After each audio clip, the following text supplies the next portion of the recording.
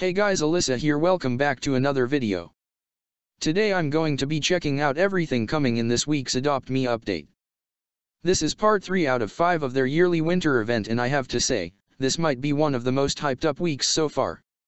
Make sure to stay to the end to know every single thing coming to Adoption Island today.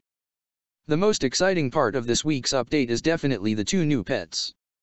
One pet costs Robux and the other one costs 25,000 gingerbread. First up we have the steppe lion, which is the one that costs 25,000 gingerbread. It is a rare pet and I think it looks super cute and fluffy. This shouldn't be too hard to earn either. The second pet is the mini snowball pet. Sadly, this pet will cost 99 Robux but at least it's not 1000.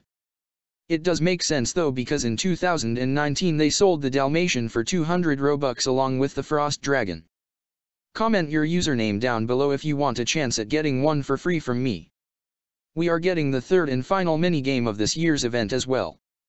It will be a racing game similar to the 2021 Headless Horseman chasing game. Finally, we have a new vehicle and some new house decorations for all you Adopt Me builders. Don't forget to continue collecting those daily items in the advent calendar y'all. Alright guys I'm gonna end it there. Make sure to like comment share and subscribe if you enjoyed this video.